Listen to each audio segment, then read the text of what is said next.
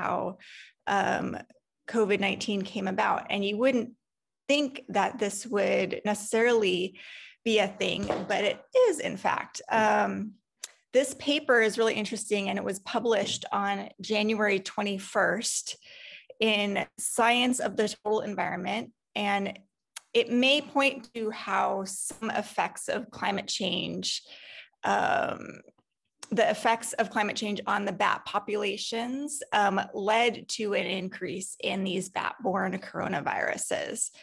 We talked previously about how um, we're seeing an increase in the frequency of emerging infectious disease events. And we talked about the different factors that played a role.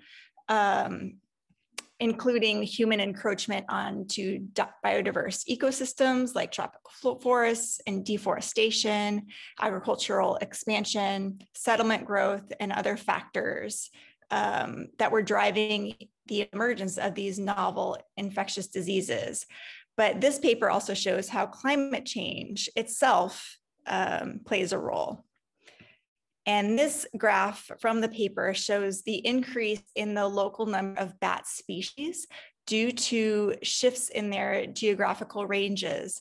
And these were driven by climate change. This is, they studied the time between 1901 and 1930. Um, so they looked at the, they compared the 1901 to 1930 period, the 1990 to 2019 period. The zoom area here represents the likely origin of the bat-borne ancestors of SARS-CoV-1 and SARS-CoV-2. Now, SARS-CoV-1 is the original SARS 2003. This was, I don't, do you all remember this from um, 2003, the bat reservoir host uh, and then the, there was the palm intermediate host that went to humans, killed a few hundred people, but it became a big news story.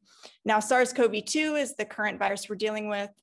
It's the virus that causes the disease COVID 19. This area um, is the Chinese, I don't know how to pronounce it, Yunnan province and the neighboring regions of Myanmar and Laos. And it was found that the number of coronaviruses in the region strongly correlated with the richness of the number of bat species. Uh, estimated that climate change driven increase uh, increased 40 bat species across the region. And this corresponds to a rise in the local number of bat-borne coronaviruses in the order of 100 plus or minus 50 um, this is given that each bat species carries on average 2.67 coronaviruses. And we talked about before how bats are really cool in that they can carry a lot of viruses in their bodies without becoming sick. They have some really interesting adaptations because of their high metabolic demands for flight um, they're used to just having pieces of DNA like break off and go into plasm. And this, this sort of usually is what causes a lot of the negative effects of having viruses in your body, where you have like the coronaviruses, they talked about the cytokine storm, the, this inflammation, and that's what leads to you getting really sick.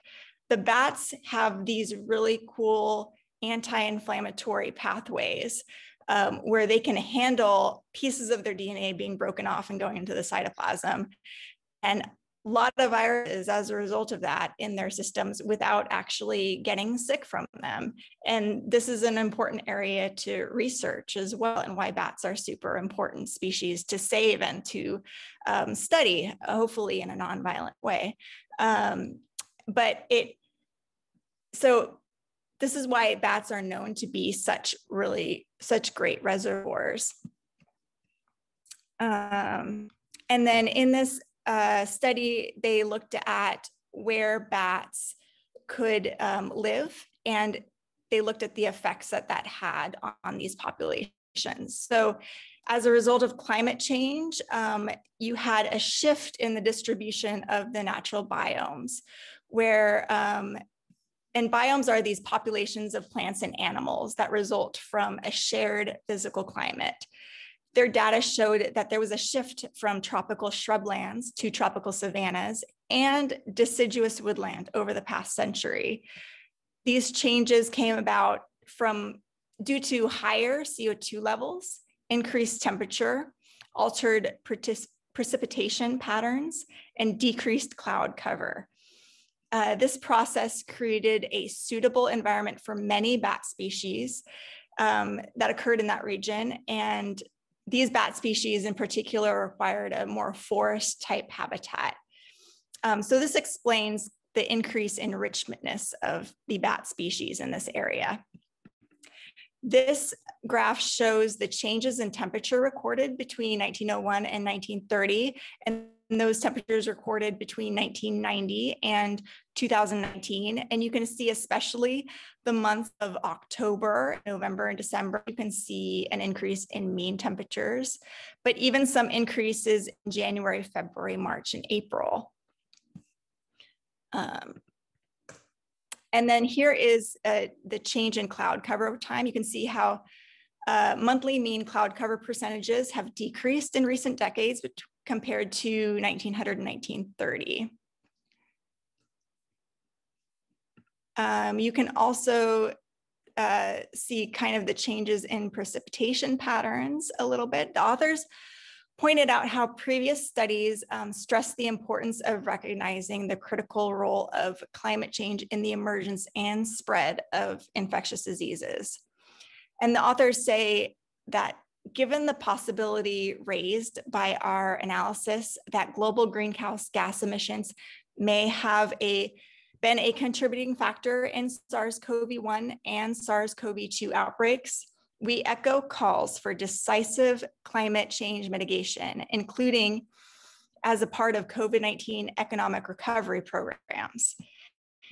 This is as a mean to minimize future zoonotic spillover and the tremendous social and economic damage associated with them. Um, and you can see the average temperature, uh, this is data from NASA has reached about 1.4 degrees Fahrenheit. This is worldwide. Um, this is 0.8 degrees Celsius over the past 100 years. This is according to the National Oceanic Atmospheric Administration. The IPCC, which is the Intergovernmental Panel on Climate Change, reports that global warming is likely to reach 1.5 degrees um, Celsius between 20, uh, they actually move that up between 2025 and 2030 um, if it continues to increase at the current rate. Allowing temperatures to rise beyond 1.5 degrees Celsius will have devastating consequences. This will be loss of natural habitats, species, even high, higher sea level rises, dwindling ice caps, spreading of deserts, and catastrophic storms. The authors of this paper also add that spillovers of coronaviruses and other zoonosis to humans have been shown to be closely linked to an increase in contact with pathogen carrying wildlife, driven by the expansion and intensification of agriculture, hunting, and infrastructure development.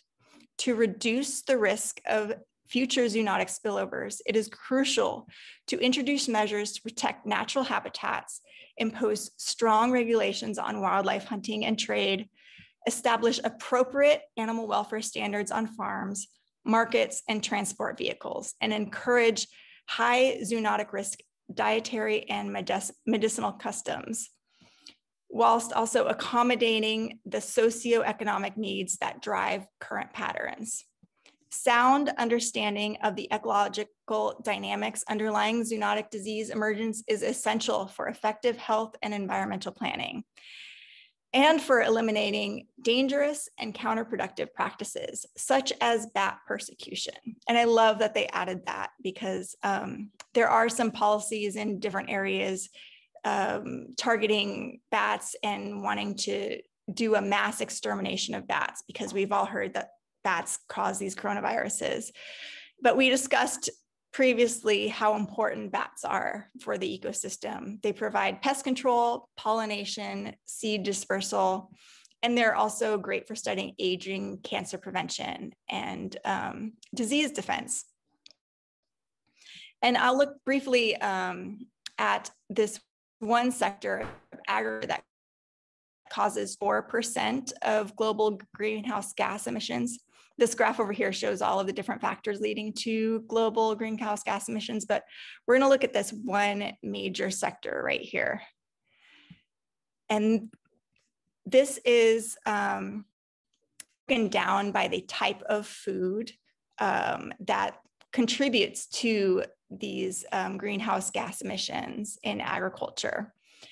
Um, meat production is one of the most important ways in which humanity and affects the environment.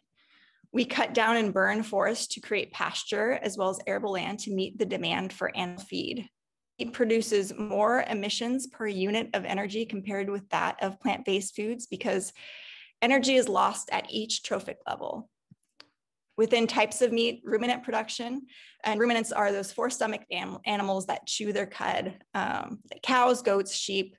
Um, they produce the most emissions because um, they also uh, eructate, which is belch methane. Um, and they also eat a great deal and drink a lot of water. Chicken production leads to less emissions than that of mammals. Um, but meat, meat production is the single most important source of methane, which has a relatively high warming potential, but a low half-life in the environment compared with that of CO2. Um, Here's another graph um, showing the various pounds of CO2 per serving of various food items. But despite increasing awareness about animal suffering, pandemics, environmental design, freshwater contamination, worker exploitation, antibiotic resistance per capita, uh, or antibiotic resistance, sorry, per capita meat consumption continues to rise. A well-established empirical relationship known as Bennett's law shows that as people become wealthier, their diets change from being largely based on starchy staples to diets that incorporate increasing amounts of refined grains, fruit, vegetables, meat, and dairy. And they use Bennett's law to project into the future um, how much we will eat. And they have suggested that a rise in wealth will lead to an increase in meat consumption of about 100% between um, 2005 and the mid-century. So the animal agriculture sector has considerable political influence and has allocated large amounts of money to advertising and marketing. Lobbying from the meat industry was intensive during the formulation of the US dietary guidelines. And civil society organizations claimed that this influenced the eventual recommendations. This graph ends at 2013, but the animal agriculture industry is reporting or maybe bragging that in 2019, we ate a record setting 223.7 pounds of meat per person. Now, we don't have a problem with protein deficiency in this country, but we do have a serious problem with fiber deficiency.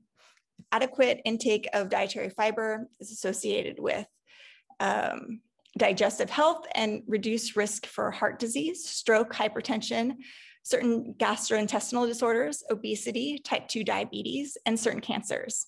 According to consumer research, the public is aware of the benefits of fiber and most people believe they consume enough fiber. However, national consumption surveys show that only about 5% of the population meets recommendations and inadequate intakes have been called a public health concern.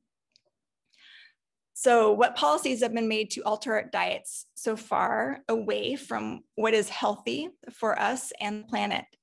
Marketing strategies and distribution of food has influenced our choices?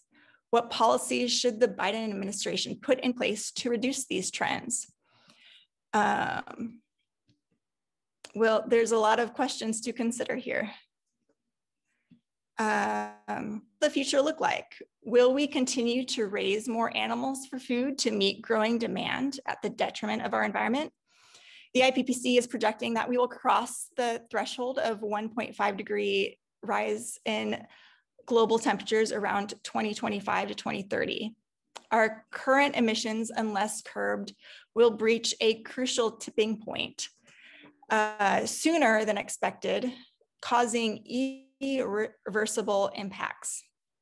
Now is the moment for governments, business, and the world as a whole to step up their climate ambition to avoid crossing a dangerous line of 1.5 degrees and even two degrees.